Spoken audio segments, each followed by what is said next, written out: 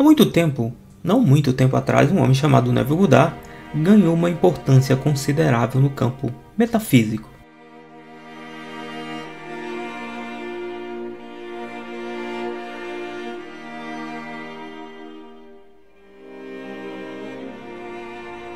Seu trabalho não era tão popular quanto de Napoleão Hill, só para citar como exemplo, mas era popular o suficiente, e qualquer que fosse o local em que ele falasse, as pessoas compareceriam. Durante o tempo em que lecionou, de meados dos anos 30 a 72, que foi o ano da sua morte, ele falou da imaginação como Deus e insistiu que a Bíblia era apenas uma história destinada a compartilhar essa informação com o povo comum. Enquanto cobria essas ideias e metáforas, ele falava diretamente ao nosso coração.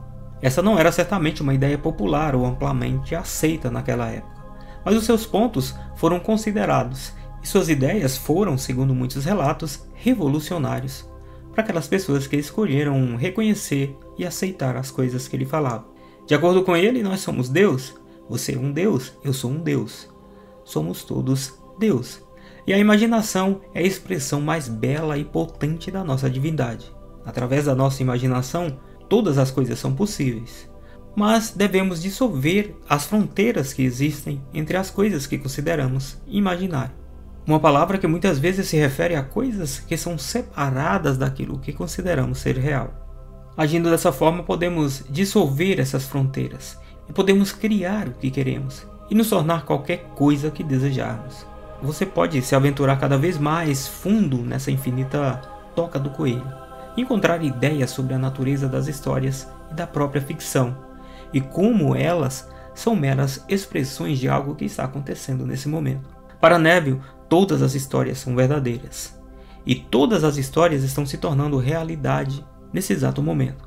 Assim como você pode encontrar ideias sobre como agir e todo o papel que você desempenha nesse nosso drama cósmico. Eu te convido a se aventurar cada vez mais fundo e você vai começar a entender que Neville acreditava que sempre estamos criando nossa realidade e que somos os criadores de tudo que está ao nosso redor e tudo que está entrando em nossas vidas. Essa pode ser uma ideia confusa, controversa, e embora eu tenha minhas próprias dúvidas e meus próprios medos em relação a essa ideia, descubro que há uma quantidade significativa de verdade em todas as coisas, pois nós criamos a realidade e podemos escolher aceitar a realidade de outra pessoa e as crenças, acessões e ideias que tal realidade implica em nossa vida.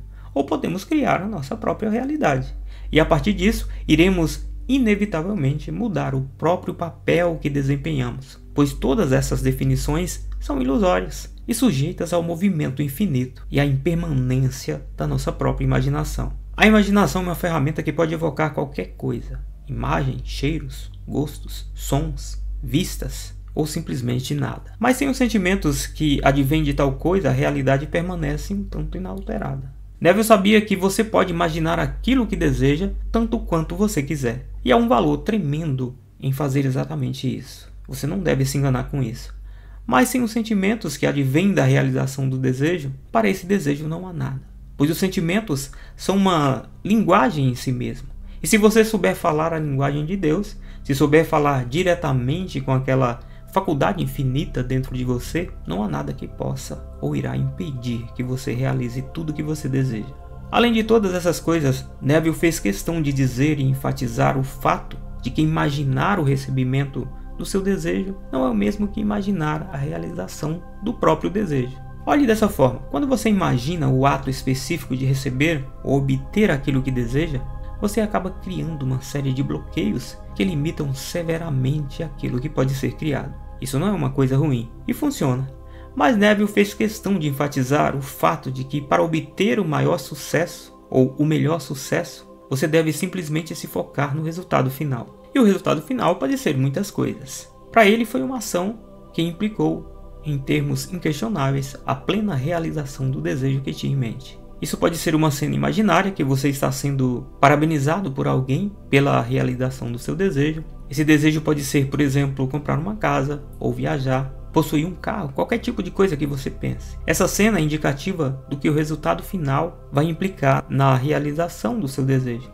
Então, segundo Neville, você deve repetir e permitir que essas sementes sejam plantadas em sua própria mente. A partir desse pensamento, você será conduzido à etapa final do processo, o deixar ir, o entregar-se. E eu estou falando por experiência própria quando digo essa é a coisa mais difícil de fazer, especialmente porque você provavelmente se apaixonou pelo resultado final e pelo que você sabe que está por vir, e está animado e pronto para receber. Mas também é um pouco nervoso pensar dessa forma. Não é fácil fazer isso, mas você vai descobrir que é necessário. E talvez seja o passo mais necessário de todos: pensar no desejo realizado ou imaginar o desejo realizado. Nesse pequeno ensaio que você faz em sua própria mente, você vai ler suas histórias que afirmam e dão credibilidade a tudo que Neville falou e vai obter uma maior compreensão da cosmologia e da metafísica do jogo que envolve tudo isso. Por fim, ao final desse ensaio, você terá o processo exato e vai utilizar exatamente o que Neville fala, junto com algumas sugestões em cada etapa, sobre a melhor forma de executar cada etapa do processo. Mas aí você se questiona se realmente funciona? Depende, porque funcionar para você, assim como funcionou para mim e para muitas outras pessoas, pode simplesmente dizer que não vai funcionar para você. E se isso funcionou ou não, depende da sua disposição em aceitar, em experimentar essa forma de ser, de agir, mas também depende de quão natural essa forma de ser parece ser para você. Não existe um tamanho único, não existe uma etapa única para a realização do seu desejo. Para algumas pessoas, esse método não funciona, simplesmente não é adequado para elas. Está tudo bem. Existem muitas metodologias e práticas que não têm efeito para mim também. Por isso não utilizo. E em vez disso, utilizo aquelas que parecem naturais, aquelas que proporcionam os resultados que procuro. No entanto, vou te dizer uma coisa: se você optar por utilizar, aceitar esse modo de ser, de pensar por uma semana, você vai descobrir que as coisas estão acontecendo e tudo o que está acontecendo vai te surpreender. Para ilustrar minha resposta a essa pergunta, vou compartilhar com vocês duas histórias. Uma delas é minha, a outra história eu pessoalmente gosto. É uma história linda. É a história final de um amigo próximo que era meio cético, mas optou simplesmente se render ao processo e depois ver o que ia acontecer. Durante vários anos, desde os meus 16 anos, eu queria ir para o Camboja, simplesmente para ver os belos templos sagrados que existem lá. Junto com a própria cidade, que é realmente muito bela e encantadora, segundo as imagens que eu via. Desde pequeno sonho com essa cidade, antes mesmo de saber pelo menos o nome dela. Então, como vocês podem imaginar, eu queria ir para lá. Mais especificamente, eu queria me mudar para lá. Logo após o último ano do ensino médio, havia um plano envolvido e eu sabia o dia em que queria me mudar. 7 de setembro. Tinha essa data em mente. E na época estava lendo muito sobre Goddard e percebi que deveria usar seus métodos para conseguir dinheiro para simplesmente comprar uma passagem de avião. No entanto, eu percebi que o dinheiro não era realmente o que eu queria. Eu só queria uma passagem aérea. Então mudei minha intenção para conseguir uma passagem aérea. Usando algumas ideias que obtive de alguns livros que li, fiz uma lista de cerca de quatro coisas que eu não queria que viessem na intenção e 11 coisas que queria que viessem dessa intenção. Isso me permitiu obter clareza e uma imagem melhor e mais precisa do meu resultado final. Claro que eu precisava de um plano, e eu pensei que sim, então disse a mim mesmo que todas as noites, às 9 horas, passaria 11 minutos visualizando, imaginando e sentindo a sensação de ter aquela passagem em minhas mãos. E eu vou ser honesto com vocês, essas sessões foram confusas e muito perturbadoras até. Visualizei a passagem, estar no avião, estar chegando na cidade e um monte de outras coisas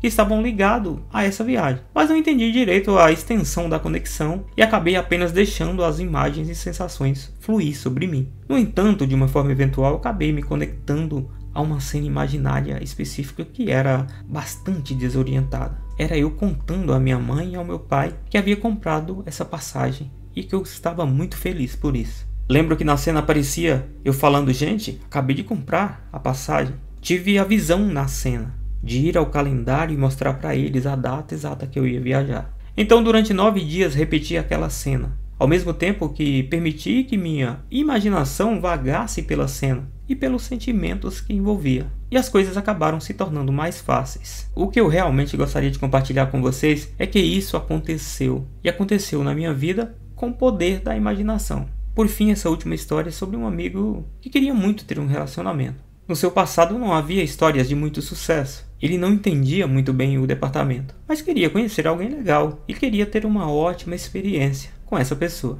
Contei a ele o que tinha feito e ele me pareceu meio cético, mas disse que tentaria. Seu método era um pouco diferente, mas o que eu falei para ele foi simplesmente para criar uma cena imaginária. Na cena ele estava me mandando uma mensagem, então ele se representou a cena ao longo do dia cerca de nove vezes. Cada vez que ele se lembrava da cena, ele inspirava quatro vezes e expirava quatro vezes, e fazia isso por três vezes. Então ele imaginava a cena, reproduzia uma ou duas vezes e depois daquele minuto ele sabia exatamente o que queria fazer.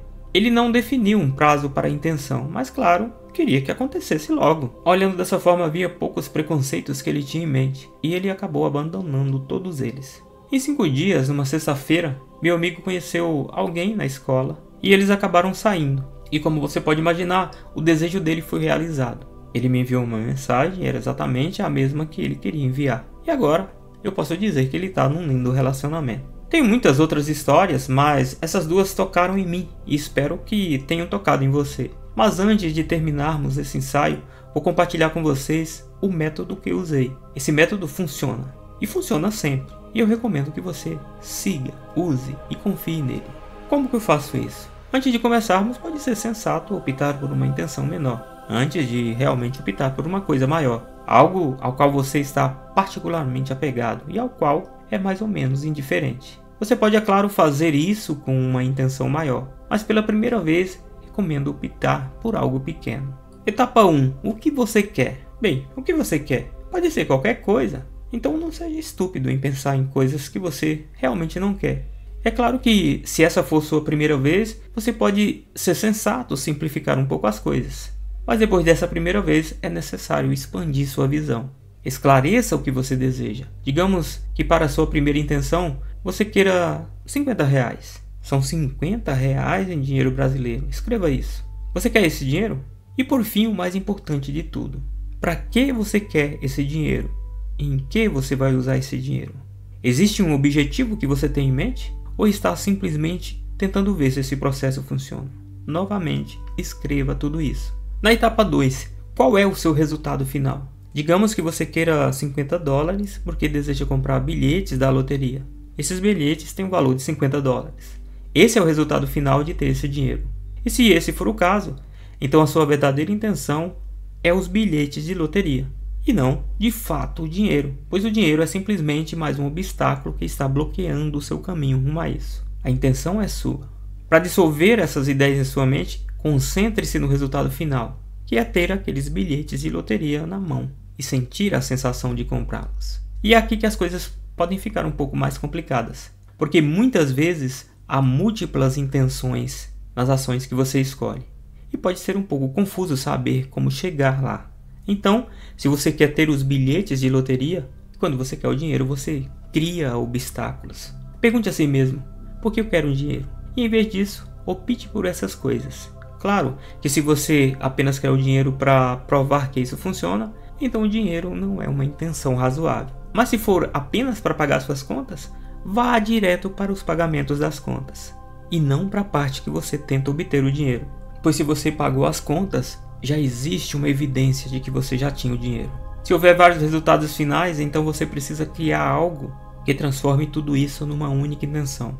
E a etapa 3 diz para você criar uma cena. Isso pode ser um pouco complicado no início. E eu recomendo que você faça isso em dois dias. E use cinco dias total para o experimento, para simplesmente permitir que as imagens e cenas inundem sua mente. Você pode manter aquelas imagens do que você gosta, e descartar todas as imagens do que você não gosta. Simplesmente renda-se e permita-se que elas venham até você. E é claro que elas vão vir. A partir disso, você vai encontrar uma cena que implica na realização total do seu desejo. Na etapa 4, você deve representar a cena. Você deve ter os sentimentos em relação a ela. Respire fundo, inspire contando até 4, inspire contando até 4. Faça isso pelo menos 7 vezes e você vai se sentir mais leve, mais calmo, mais relaxado, mais contente. Feche os olhos e comece a deixar as sensações inundarem sua mente. Mantenha sua intenção em foco e lentamente construa a cena. Se você ainda não está consciente da cena, continue deixando as sensações inundarem sua mente e permita que as peças se juntem. Não force nada. Não empurre, não cutuque, simplesmente deixe ir. Quando você encontrar uma cena que seja verdadeiramente magnífica e necessária para tudo que você deseja, reproduza ela novamente. Edite, corte, capture e sintetize ela em uma única frase. E então repita, e repita várias vezes. E ao reproduzir novamente, reserve um tempo para adicionar detalhes sensoriais à cena.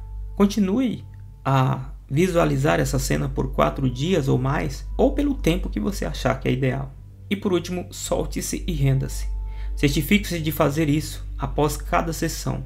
Mas no quarto dia é hora de você se deixar levar e se render. Nesse último dia será fácil, pois você já fez o que era necessário e sabe na sua cabeça que não há necessidade de temer. Não precisa de luta, não precisa de esforço, pois tudo está bem. Tudo o que você vivencia é, em essência, nada mais do que um estado imaginado. É uma realidade imaginada que você escolheu para você mesmo, embora ela apareça num nível que você talvez não tenha conhecimento. O segredo para desenvolver o controle consciente sobre esse processo de criação é através do uso atento do seu poder de imaginação. Quando você imagina algo, você cria o estado desse desejo para você mesmo. À medida que você pode sentir e vivenciar o desejo, você esclarece a sua visão, o que significa viver a partir do ideal imaginado e você aproxima cada vez mais da realização e da existência desse desejo. Se você consegue imaginar claramente seu objetivo, o único outro componente de que você precisa é a fé. Fé é a convicção, é a sensação de certeza absoluta de que seu desejo é verdadeiro, exatamente como você imaginou que fosse. A fé exige que você ignore as informações apresentadas pelos cinco sentidos. E isso vem em favor do conhecimento de que, se você pode imaginar, elas vão se manifestar, elas vão criar a sua realidade.